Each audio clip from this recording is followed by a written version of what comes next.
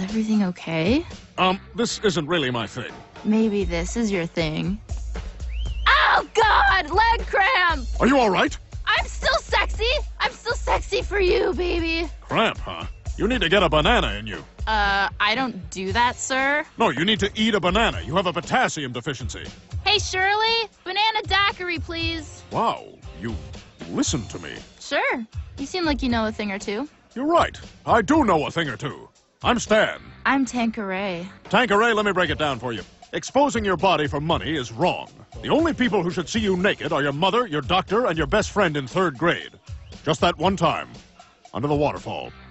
Jeremy Davis. The point is, you could do so much more with your life. You really think so? Take my advice. You really can.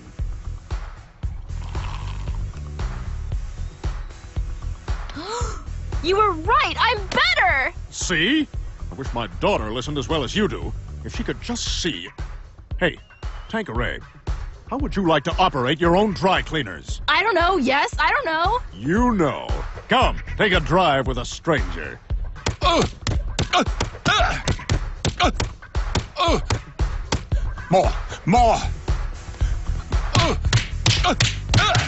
Yeah, I so deserve this. Do it.